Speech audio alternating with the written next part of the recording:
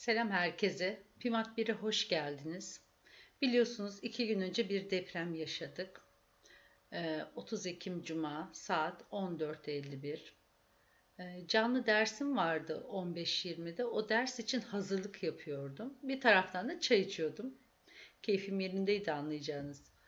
Ee, hafif bir sallanmaya başladık. Ee, durdum bekledim sallantının bitmesini.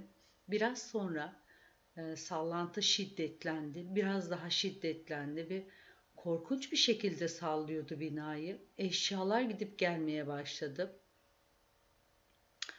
E, hiç bitmeyecek zannettim. Çok korktum gerçekten. E, nihayet, nihayet bitti ve kendimi dışarı attım. Benim gibi yüzlerce insan, komşularım, çevredeki arkadaşlarım hepimiz e, dışarıda buluştuk.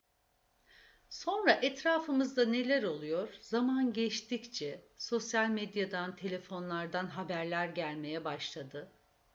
Devamını biliyorsunuz zaten neler olduğunu. Herkese yeniden çok geçmiş olsun diliyorum. Şu an kayıttayken hafif bir deprem oldu, hafif bir salladı yeniden. Bugünkü konumuz e, deprem ile matematiğin ilişkisi. Nasıl bir ilişki var aralarında? Bunları konuşacağız. Hadi buyurun başlayalım. Matematik sürekli değişen ve gelişen bir bilimdir ve matematiğin diğer disiplinlerle de ilişkilerin oldukça yakın olduğunu biliyoruz. İşte bunlardan birisi de jeoloji. Ee, Richter ölçeğini duymayan yoktur herhalde. 1935'te Charles Richter ile e, Bino Gutenberg tarafından geliştirilmiş bir ölçektir. Richter ölçeği bir makine değildir, bir matematiksel denklemdir ve e, dalgaların genliğinin logaritmasını e, tanımlar. Logaritmik bir denklem olan Richter ölçeğine göre bir deprem, depremin şiddeti e, şu şekilde hesaplanır.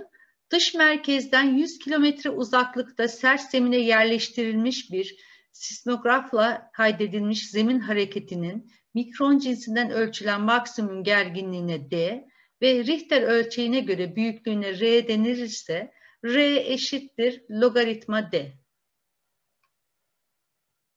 Richter ölçeğine göre depremin bir birim artması aslında depremin gücünün 10 kat arttığı anlamına gelir. Eski olasılıkların gelecekteki olasılıkları nasıl etkileyeceğini e, ifade eden Bayes teoremi ile tahmin yapılabilir.